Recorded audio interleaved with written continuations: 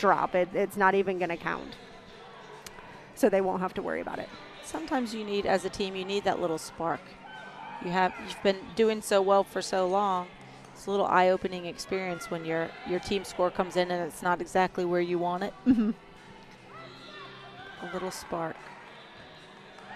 Nice side somi.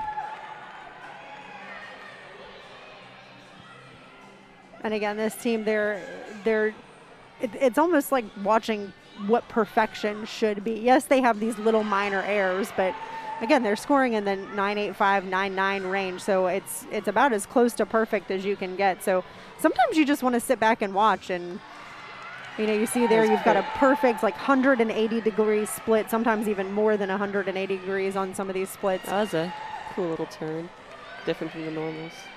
Just fun to watch at times, with as much as beam can be fun to watch. Oh, Another another step. step. This one.